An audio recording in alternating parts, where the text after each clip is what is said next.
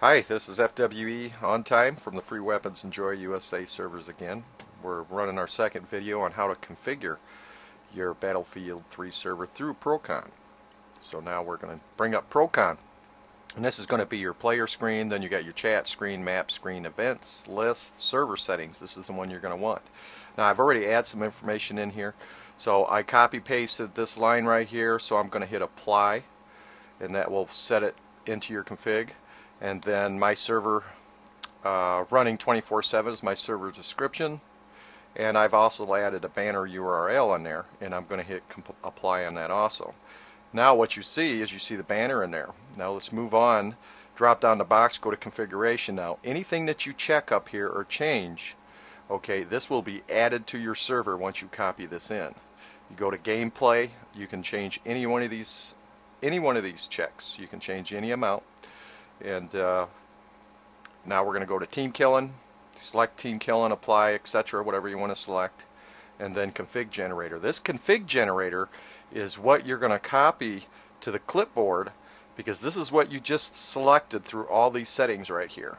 This automatically generates it. So this will be how your server will react once you copy this in. So you're going to copy it to the clipboard and then we're going to go to our startup text file which is in your server settings and what you want to do is you want to delete everything that's in here.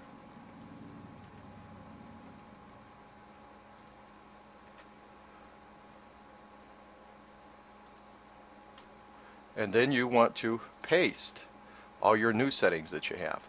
After you paste all your new settings you hit save and now your server's ready to go.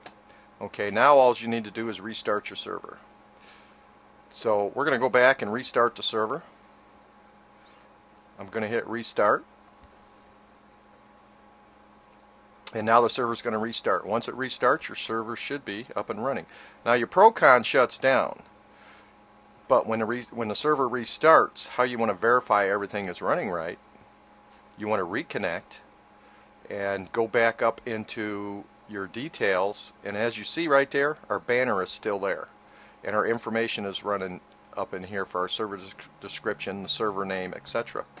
And that's pretty much all you got to do to uh, set up your server and change the settings, etc. Thank you for uh, watching the video. We'll have some more videos come soon.